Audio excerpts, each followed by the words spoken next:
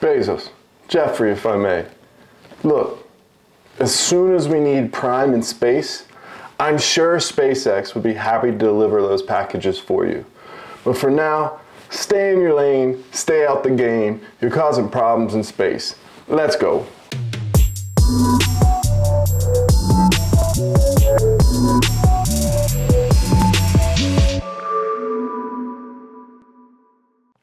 If you follow this channel, you know I'm a big SpaceX fan.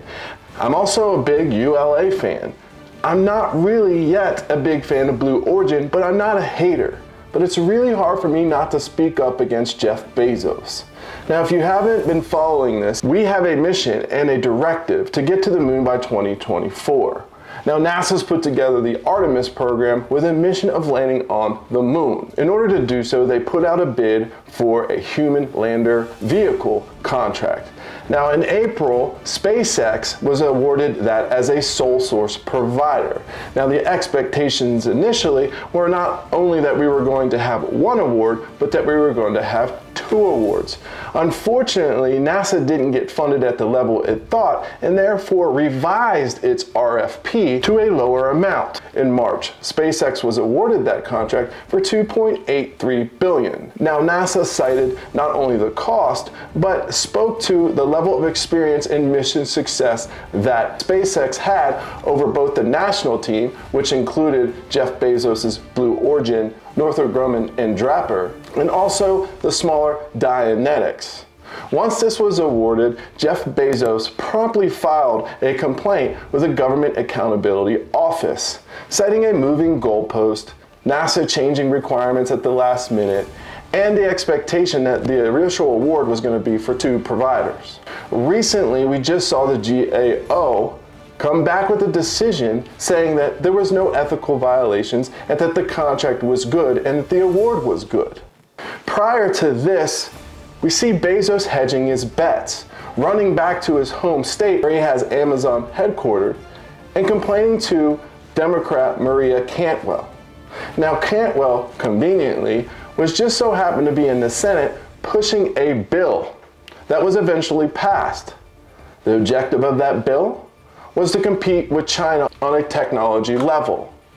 However, she slid in last minute an amendment at Jeff Bezos' urging to expand the budget for Artemis and require another pick for a backup redundant system for the human landing vehicle. That bill included a $10 billion additional earmark to be sent for NASA. But it's even more sneaky than that. It also included a stipulation that while SpaceX won the initial contract, they could not be considered for the second contract, and no money from that second contract would be allocated to the first.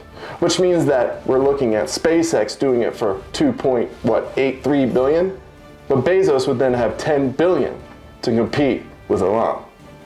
On Friday, July 30th, 2021, the U.S. Government Accountability Office, GAO, denied protests filed by Blue Origin and Dynetics. The protests challenged their selection for the awards and the award of optional contract line numbers to Space Exploration Technologies, or SpaceX. Under Option A to Appendix H of Broad Agency Announcements, Broad agency announcements typically provide for acquisition of basic and applied research for new and creative research or development solutions to scientific and engineering problems. The rules for these procurements are not the same as those for standard competitive federal procurements, as agencies generally enjoy broader discretion in selecting proposals most suitable to meeting their research and development needs when utilizing broad agency announcement procedures. The announcement was issued by the National Aeronautics and Space Administration, NASA, for a demonstrated mission for a human landing system for lunar exploration. NASA made the award to SpaceX for a total evaluated price of 2.84 billion. After noting that SpaceX submitted the lowest price proposal with the highest rating and that the offer submitted by Blue Origin and Dynetics were significantly higher in price. NASA also concluded that the agency lacked the necessary funding to make more than one award. The challenge filed at the GAO, the protesters argued that the agency was required to make multiple awards consistent with the announcement's stated preferences for multiple awards. Alternatively, the protesters alleged that the agency was required to open discussions, amend or cancel the announcement when NASA, after the receipt of proposals, determined that it had less funding than it needed to support multiple HLS awards. The protesters also argued that NASA unreasonably evaluated all three of the proposals. Finally, the protesters argued that NASA improperly waived the mandatory solicitation requirement for SpaceX. In denying the protest, GAO first concluded that NASA did not violate procurement law or regulation when it decided to make only one award. NASA's announcement provided that the number of awards the agency would make was subject to the amount of funding available for the program. In addition, the announcement reserved the right to make multiple awards and a single award or no award at all. In reaching its award decision, NASA concluded that it only had sufficient funding for one contract award. GAO further concluded there was no requirement for NASA to engage in discussions, amend, or cancel the announcement as a result of the amount of funding available for the program. As a result, GAO denied the protest arguments that NASA acted improperly in making a single award to SpaceX. Now, as if the desperate plea to the GAO wasn't enough, what does Bezos do? He tries to buy his way in. That's right, he penned a letter saying that he will personally front NASA $2 billion in order to reconsider the contract. And perhaps not reconsider the contract even. Hey, I'll provide 2 billion. He even left it open-ended, saying, tell me what you need in order to provide a backup system to SpaceX award. To me, that doesn't sound like anything other than a good old-fashioned bribe. As reported by Yale Kennedy, back from space and wanting more, Bezos Blue Origin offers to bridge 2 billion for NASA's lunar contract. Jeff Bezos, freshly back from space, offered to cover 2 billion in fees for NASA's Human Landing System HLS program in an open letter to agency's administrator Bill Nelson. Blue Origin will bridge the HLS budgetary funding shortfall by waiving all payments in the current and next two government fiscal years up to 2 billion to get the program back on the right track, Bezos said in his letter. Last April, NASA awarded SpaceX 2.89 billion contract to continue development for the first commercial human lander that will safely carry the next two American astronauts to the lunar surface, the agency said. The choice was disputed by Bezos, who reiterated his position in the letter, saying that instead of investing in two competing lunar landers as originally intended, the agency chose to confer a multi-year, multi-billion dollar head start to SpaceX. That decision broke the mold of NASA's successful commercial space programs by putting an end to meaningful competition for years to come. Instead of a single source approach, NASA should embrace its original strategy of competition. Competition will prevent any single source from having insurmountable leverage over NASA. Without competition, a short time into the contract, NASA will find itself with limited options as it attempts to negotiate missed deadlines, design changes, and cost overruns. Bezos added in the letter that in April, only one HLS bidder, SpaceX, was offered the opportunity to revise their price and funding profile, leading to their selection. Blue Origin was not offered the same opportunity. That was a mistake, it was unusual, and it was a missed opportunity. In addition to bridging the HLS budgetary funding shortfall, Bezos says that Blue Origin will, at its own cost, contribute to the development and launch of a Pathfinder mission to low Earth orbit of the lunar descent element to the further retire development and schedule risks. In addition, he suggested that Blue Origin accepts a firm, fixed price contract for this work, cover any development cost overruns, and shield NASA from partner cost escalations concerns. I believe the mission is important. I am honored to offer these contributions, and I'm grateful to be in a financial position to be able to do so. NASA veered from its original dual source acquisition strategy due to perceived near term budgetary issues, and this offer removes the obstacle, Bezos said. Now, Bezos isn't just meddling in government affairs and screwing up Artemis and most likely delaying it well past 2024. No, he's gone a step further and is now messing with longtime friend and partner United Launch Alliance. Now, Tory Bruno, the CEO, has been playing it kind of coy. However, insiders say that he's not so happy. And the reason he's not so happy is he has a brand new rocket sitting there waiting to launch. And it's called the Vulcan. ULA is the oldest, most successful government contracting group or agency that's been ferrying satellites and DoD projects to space long before anyone else, to include SpaceX and yet Blue Origin as well, even though they have not gone to orbit and they need to soon, or else they'll lose all credibility. However, ULA is not upset because of that. They're upset because they're delaying their Vulcan rocket. And why are they delaying it? Well, in 2020, Congress put forth a directive that no one can fly on Russian made engines any longer into space ferrying any of their projects or their missions. What that means is in 2022, when this directive takes place, all companies need to be flying on American made products. Now, that wasn't a problem because in 2020, Blue Origin and Bezos were quick to offer up their BE 4 engine to power the Vulcan. Now, the Vulcan was flying on a Russian engine and now needs the BE 4s. It was supposed to be delivered in early 2020. Bezos and Blue Origin have come out and said it's not going to be ready. In fact, it will probably be late 2022 before they're able to deliver those rockets. Now that leaves ULA in a very bad place.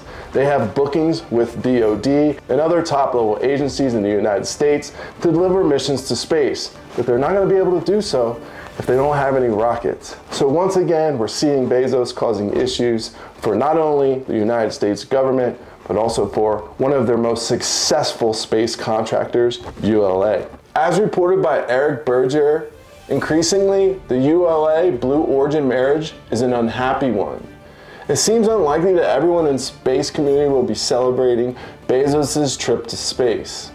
Bezos made his fortune at Amazon through competitive pricing and timely delivery of goods to his customers worldwide. But so far, at least, his Blue Origin space company has been a less reliable vendor. This has been especially of concern to the United Launch Alliance, which is relying on Blue Origin built engines for its new Vulcan rocket.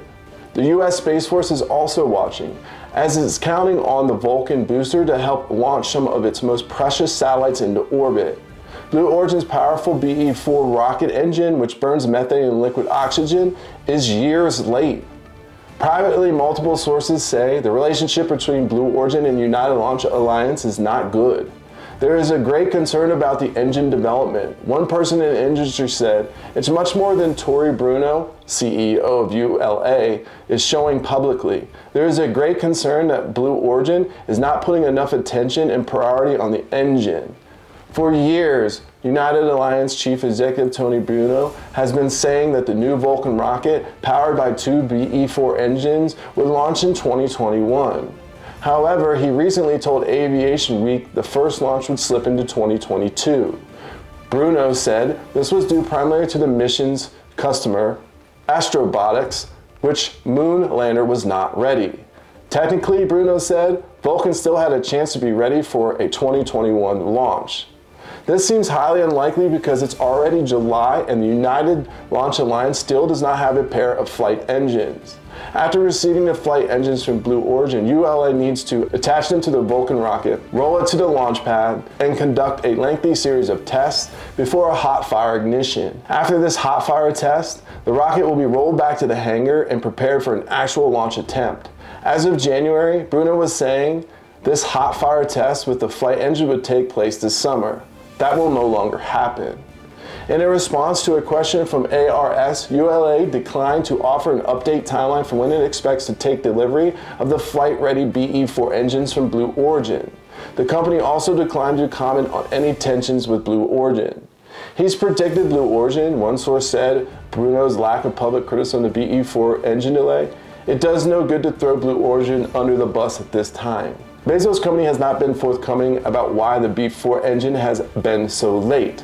Development of the engine, which has 550,000 pounds of thrust and is more powerful than the Space Shuttle main engine, has been going since 2011.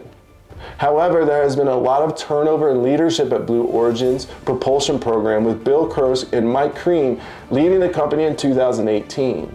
In Kurse's replacement, Danette Smith, only lasted about a year before leaving in 2019. Tory Bruno has confirmed there have been problems with turbo machinery inside the engine. But he has said those problems have been addressed. Here's my take. We really need Bezos to step back. Sure, he can play in this space, but prove yourself first. He's putting the cart before the horse, and it's really, really disgusting to me because it's causing delays for other more successful companies and for us in our mission to the moon. Artemis is now in jeopardy. It's going to be delayed. We have to wait to see what happens with the outcome of the actual new bill being passed in the House of Representatives. But even then, it relies on appropriation of funds, which points back to Biden. Now, Biden said he will support NASA in space, but to what extent, we don't know. But now we're looking at Bezos throwing three attempts one for the GAO Accountability Office complaint. Two, running back to his senator and trying to slide in an amendment to a bill so that he gets more money than Elon to build a secondary lander. And lastly, we see a desperate personal attempt to pen a letter to Bill Nelson of NASA saying, look, I'll pay for it all myself. I just think he needs experience. Look, like I said, if we need packages or we need logistics done, you can team with SpaceX and more successful companies like ULA. You're causing ULA delays, you're causing the government delays, and you're costing us taxpayers a whole lot of money. I'm glad you stepped away from Amazon because you got a mess on your hands over at Blue Origin. Go there, figure it out, make a couple test orbits, then get in the game. Because right now, man, you're a marketer. You're not an engineer. You can't compete, and you're causing problems. Till next time, I'm Hill Phantom. Jeff, please go away. See ya.